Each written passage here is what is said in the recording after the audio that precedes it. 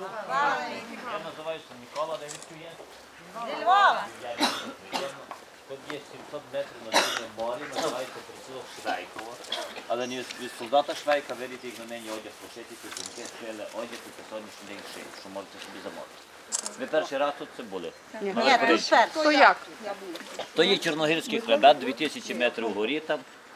Говерла ховається з правої сторони, по лівій стороні була збудована обсерваторія на горі Піпіван, там є 2026 метрів, була обсерваторія збудована за польських часів. І тепер лише минулий рік почали реставрувати той замок. Ну то здається вам, що кінець світу. Ні.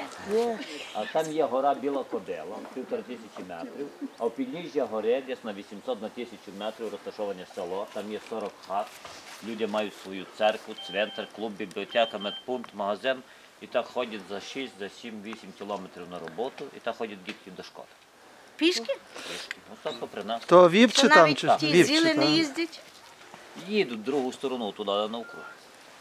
А ми- зараз запрошую вас до хати, розкажу вам про життя гуцулів, про побут, про мистецтво, про те, що знаю, про те, що не знаю.